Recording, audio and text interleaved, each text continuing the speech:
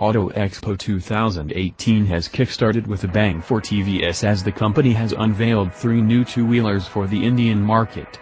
Auto Expo, India, which started on February 7 has managed to see plenty of new cars and motorcycles showcased. This is the 14th edition of the Auto Expo and is being held at India Expo Mart in Greater Noida.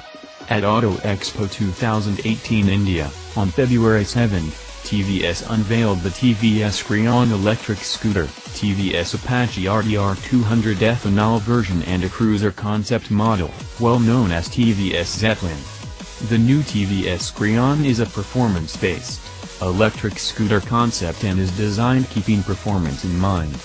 The new TVS Creon is powered by an electric motor that pushes the scooter from 0 to 60 kmph in 5 seconds. With this, the scooter can do 80 km per single full charge. The new TVS Creon showcased at Auto Expo 2018 can be charged 80% in just 60 minutes of charging. The second concept showcased by TVS at Auto Expo 2018 is Zeppelin Cruiser.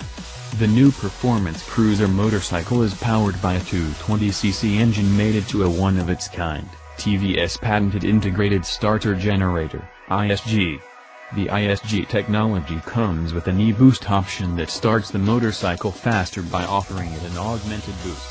A 1000